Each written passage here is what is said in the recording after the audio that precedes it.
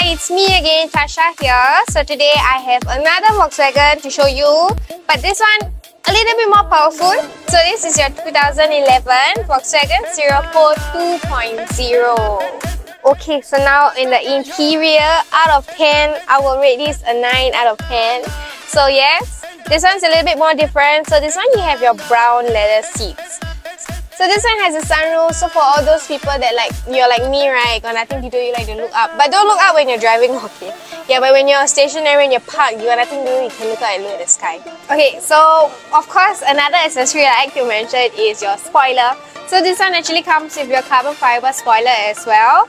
So it kind of elevates the look of the hatchback, doesn't make it look so squarey. So in case you guys are wondering, how long is this car left?